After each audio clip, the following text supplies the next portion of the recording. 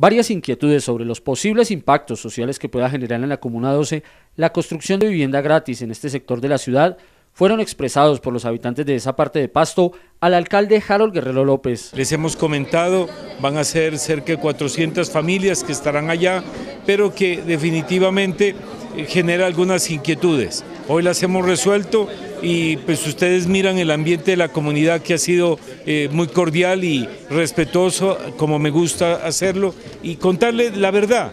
Si nosotros tenemos recursos, hacemos las, las, las, obras proyectadas, pero en el entorno de este proyecto de vivienda vamos a mejorar el tema de hospitales, vamos a mejorar el tema de centros educativos y mejorar la infraestructura vial de esos sectores.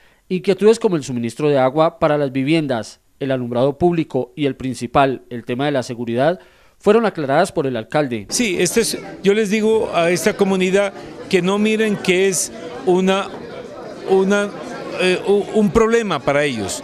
Yo estoy convencido que todo este proyecto de, de vivienda para la ciudad le va a generar grandes oportunidades al sector les estaba diciendo, aquí se podrían ellos proyectar a través de proyectos productivos que la alcaldía puede liderar en conjunto con ellos, cosa que beneficios para los niños, para los adultos mayores vendrán en estos programas. La urbanización Sindagua, que se construirá en la Comuna 12, contará con vías internas peatonales, andenes, zonas verdes y comunes, dos canchas integradas, además de juegos infantiles y parqueaderos.